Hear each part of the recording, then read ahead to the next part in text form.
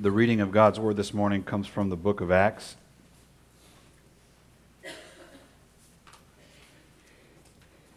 Chapter 2, we'll be reading from verse 1 through verse 13.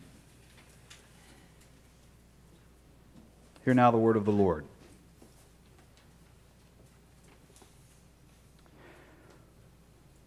When the day of Pentecost had fully come, they were all with one accord in one place. And suddenly there came a sound from heaven as of a rushing mighty wind, and it filled the whole house where they were sitting. And then there appeared to them divided tongues as of fire. And one sat upon each of them, and they were filled, all of them, with the Holy Spirit, and began to speak with other tongues as the Spirit gave them utterance. There were dwelling in Jerusalem Jews, devout men from every nation under heaven. And when this sound occurred, the multitude came together and were confused because everyone heard them speak in his own language. Then they were all amazed and marveled, saying to one another, Look, are not all these who speak Galileans? How is it that we hear each in our own language in which we were born? Parthians and Medes and Elamites, those dwelling in Mesopotamia, Judea and Cappadocia, Pontus and Asia, Phrygia, Pamphylia, Egypt, and even parts of Libya adjoining Cyrene, visitors from Rome both Jews and proselytes, Cretans and Arabs, we hear them speaking in our own tongues the wonderful works of God. So they were all amazed and perplexed, saying to one another, Whatever could this mean? Others mocking said, They are just full of new wine. The word of God for us, the people of God. Thanks be to God. Amen. So, last Sunday was Pentecost Sunday, the, the day on the church calendar, the liturgical calendar, where we remember and celebrate the Holy Spirit empowering, enlivening, animating the called gathering, the church. Um, we didn't reflect on it last Sunday because it was, uh, it was Sherry's finally day, and we wanted, to, we wanted to bless her and give her a send off. But I wanted to not pass by the topic of the Holy Spirit uh, because I think, as on the day of Pentecost, there is a great confusion over the identity and role and work uh, and then how we even respond in regard to the Holy Spirit. Some were amazed, others, it said, perplexed, very confused. These people must be drunk, they said. Peter, of course, reminding them, no, it's only the third hour of the day. Uh, being around 9 a.m. I guess for Peter, if it were 10, maybe that was possible. but it's only 9, so it couldn't be alcohol a lot of confusion around the Holy Spirit to this day. Uh, Terry Teykl wrote a book about praying in the Spirit, wherein he says that he has seen, even in the church, um, and he coined a phrase, he has seen what he called pneumophobia, uh, a healthy fear of the Spirit. Pneuma, of course, being the Greek word for spirit, or breath or wind, which is the word used in the New Testament for spirit. Phobia, of course, being a fear. People are afraid of the Spirit. Many are. And he based it upon what was happening in churches in the 60s. Uh, there were a bunch of spirit filled so called churches, and there were some strange things happening in those churches, strange things in regard to folks within mainline uh, Protestantism. And so the Protestant church wanted wanted to swing as far away from anything spirit filled. Now, I grew up, my mother reared me in a Pentecostal church, so I've, I've seen some of the things that go on in these spirit filled churches. And, and if, you, if you weren't reared in a spirit filled church, I could see where it would be a bit alarming. I have seen grown men just as, uh, as conservatively dressed as I am, uh, sitting in a pew, and next thing you know, they're standing up sprinting through the church. And I don't mean like jogging 50, 50%, I mean 75, 80% through the sanctuary. I've seen grown men run on the top of pews. I've seen grown men jump from one pew to the other and then stop dead in their tracks and roll on the ground with ecstasy on their face. And, and I don't think I need to stop preaching until every one of us in here are hurdling pews and rolling around on the floor. not true, not true. But we may pull out some snakes. But there is confusion. And as Terry Teykl said, for some people, even fear when we mention the Holy Spirit. In fact, there are some translations in Scripture that use a different phrase for the Holy Spirit. They use a phrase that I heard in the church I grew up in. Uh, what we call the Holy Spirit was not the Holy Spirit, we called it the Holy Ghost. Ghost. Yes. The Holy Ghost. I mean, that is spooky if you don't understand what they are referring to. And you can even really see it in the Apostles' Creed that we lift up week in and week out. In the first few centuries, uh, folks were really trying to get a handle on what the scriptures meant by God the Father and God the Son and God the Spirit. And so the early church fathers came up with this manifesto, which percolated in the late fourth century that we now call the Apostles' Creed. You can see it in that. I believe in God the Father, um, maker of heaven and earth, names several things about God the Father, and I believe in Jesus Christ, his only Son, our Lord, conceived by the Holy Spirit, born of the Virgin Mary, suffered under Pontius Pilate, crucified, dead, buried. A laundry list of identifying marks in regard to the Father and the Son. But when it came to the Holy Spirit, it simply says, and I believe in the Holy Spirit, and goes on. So I would say not only could there be perhaps a pneumophobia in the church, but maybe, maybe just, maybe you're not afraid of the Spirit, but you have, uh, you may have a, what, I, what I'm calling a, a pneumomyopia. Uh, myopia is just a clinical term for nearsightedness. Do you, do you remember watching uh, the Bugs Bunny Roadrunner show? And uh, Foghorn Leghorn. Uh, I say, I say, I say that boy. He would, he would talk to this little chicken hawk. And this little chicken hawk had glasses that were this thick because he couldn't see far away. He was nearsighted. And it may be just that our perspective of the Holy Spirit is, is something that, that we could expand just a bit. So, what I wanted to do over the next um, 15, 20 minutes is bear witness to what the Scripture teaches about the Holy Spirit. What is the Holy Spirit? And then reflect on how does that relate to us? Once I have a better understanding of the Spirit as taught in Scripture, how does it relate to me? In other words, so what? And then if I do know the so what, in what way do I respond? How do I say, receive the Holy Spirit if I am indeed interested. First thing I want you to know about what Scripture teaches is that it's not just a New Testament idea. The Spirit of God is seen from cover to cover. In fact, from Genesis 1 through Revelation. In Genesis 1, as God was creating, the Scripture says, and the Spirit of God, before He created land, stars, anything else, and the Spirit of God the, the word for spirit in Hebrew is ruach. Say that, ruach. You'll sound really smart. Or like you're hawking up a loogie. The Spirit of God hovered over the waters.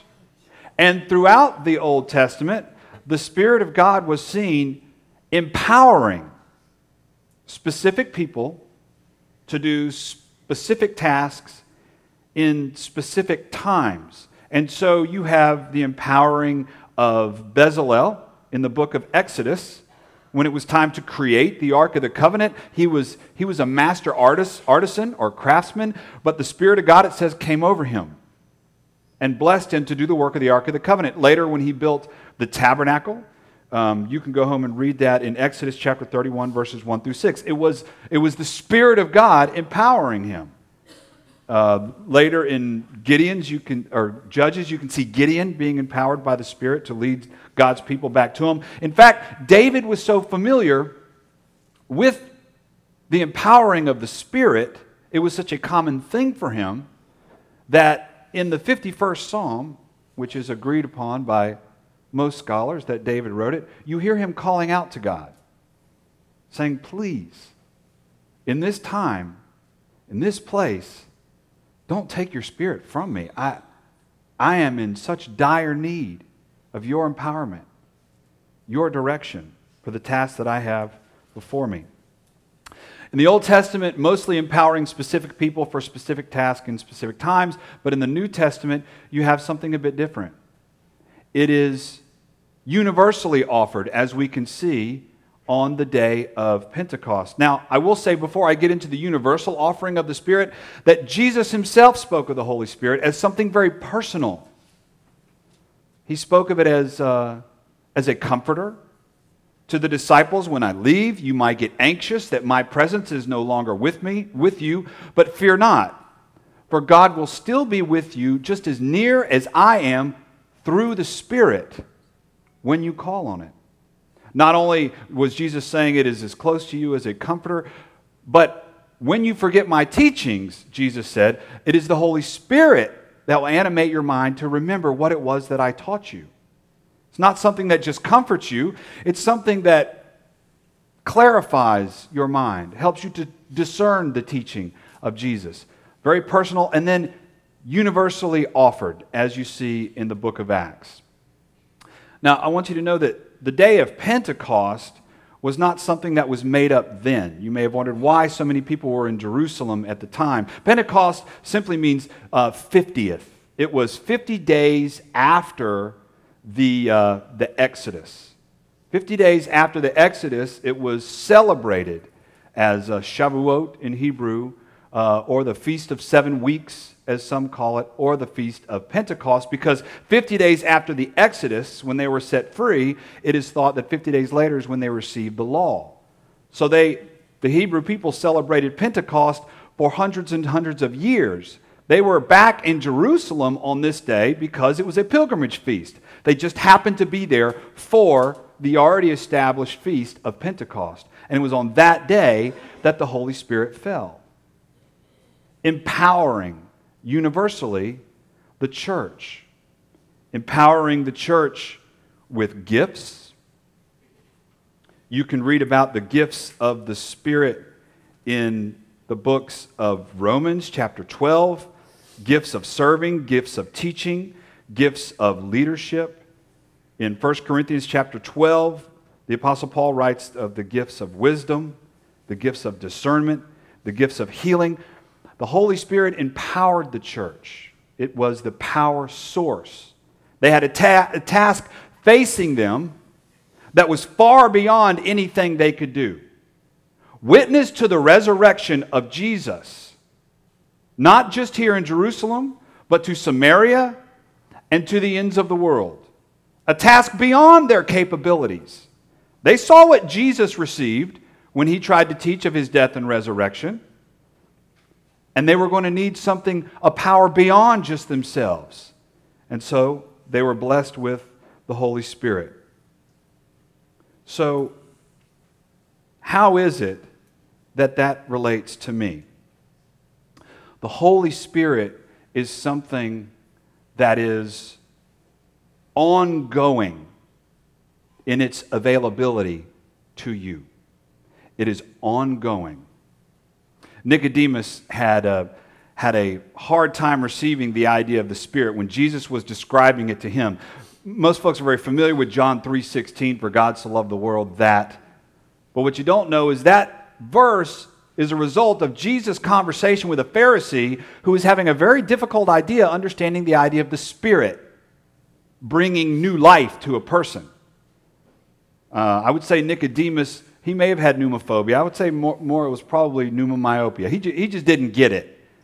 When thinking of being reborn, the first thing that came into to his mind was Does a man return into the womb of his mother?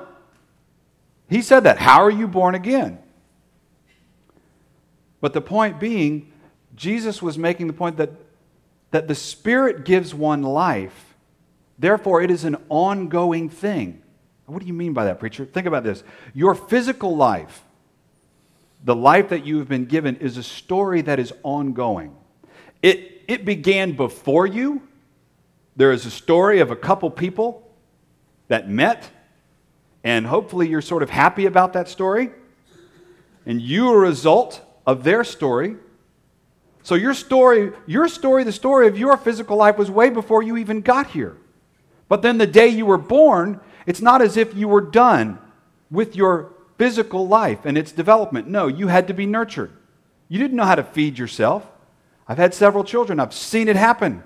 They have no clue and even when you put it in their mouth, they want to just spit it out. You had to be nurtured, you had to be taught. You had a predisposition to hide things and lie and bite other kids in the sandbox. You had to have a, a community to teach you what it meant to be human. And the same thing is true for your spiritual life. The Holy Spirit in your life is an ongoing event, it's not a one time thing.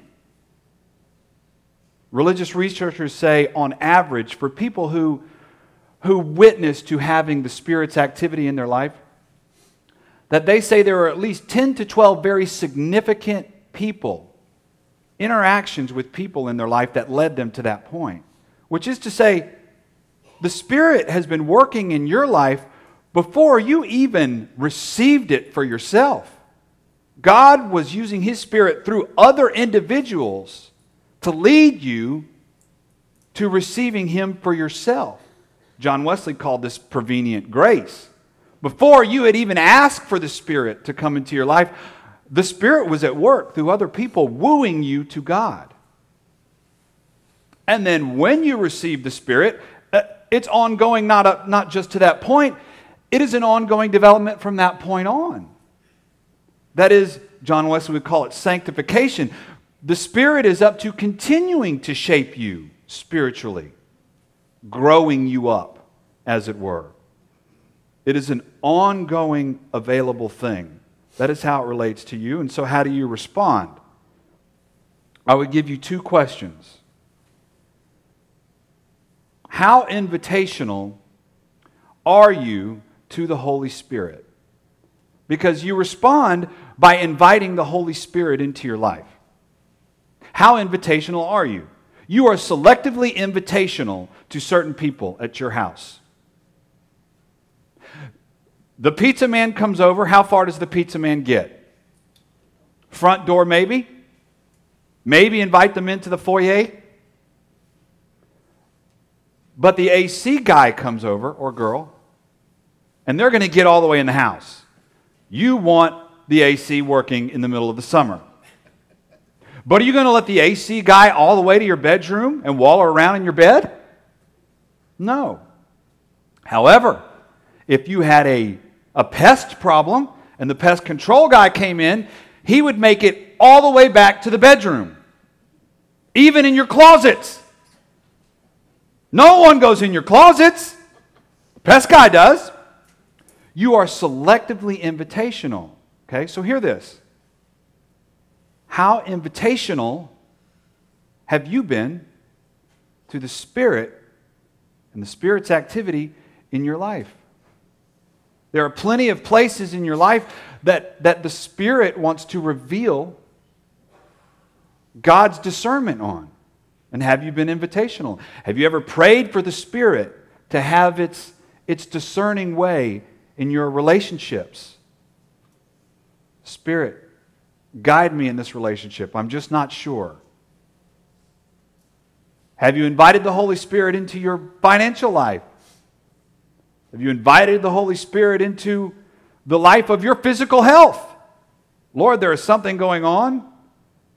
I, I know the thing that's leading me into this health place. I can't seem to stop it. Can you guide me? So, how invitational have you been? That's how you can respond. And then, how open have you been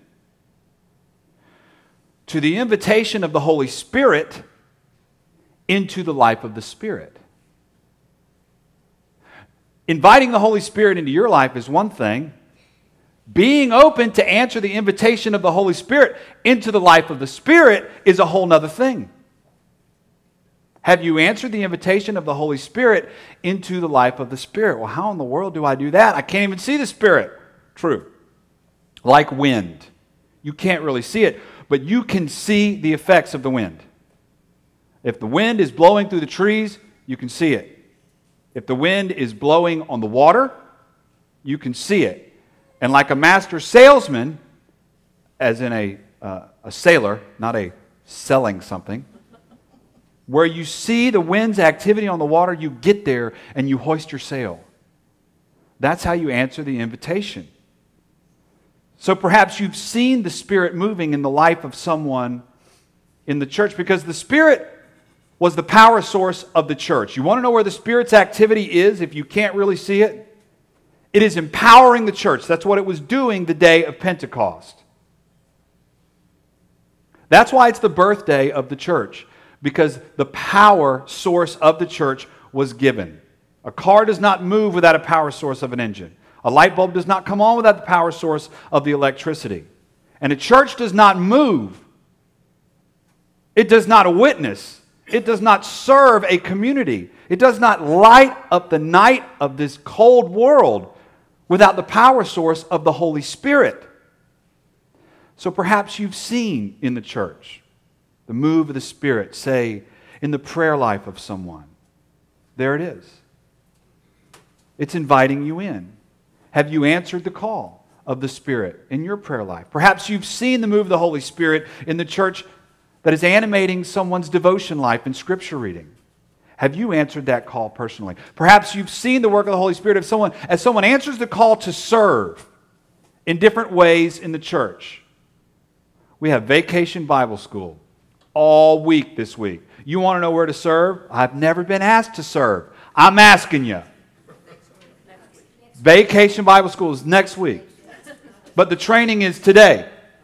Right? The training is over lunch. Yeah, Vacation Bible School is next week. We have the youth trip this week. How many of you invited to go on the youth trip? Did y'all answer that call? No? Plenty places to answer the invitation to serve in the church. So, how invitational have you been to the Spirit in your life? How open have you been to answering the invitation of the Holy Spirit into the life of the Spirit? Chew on those two questions. Let's pray. Holy God, for the birthday of your church, we give you thanks. We don't always celebrate it as we ought. And that very animating life source, which blessed it, quite often, we just either don't want to see it or we do see it and we just want to avoid it. But Lord, we believe you've given us fresh eyes this day to hear its call, to see the Spirit's move. We pray that you would empower us this day. Where we have gifts, help us to see where those gifts are and to offer them to you. Lord, if, if we've been in the church for years and we have your spirit, it comforts us every day, it guides us every day, then enable us to locate someone in our life and start praying for them. If they're not, if they're wanting more guidance from the Spirit, if they're wanting more comfort from the Spirit, if they're wanting to discern what their gifts are in the Spirit, then help us to pray for them, to mentor them to that point. And Lord, for those of us who haven't yet committed to following Jesus and therefore we just we don't we don't see the spirits move, Lord, I pray for those, first of all, assure them they're in the right place and open up their hearts. All Jesus said at the beginning of meeting people was, hey, spend time with me, just follow me. And so we pray that you open their hearts just to maybe crack open the book of Matthew, Mark, Luke, or John and spend a little time with Jesus and open up their hearts to the move of the Spirit. All of these things we pray in your holy name. Amen.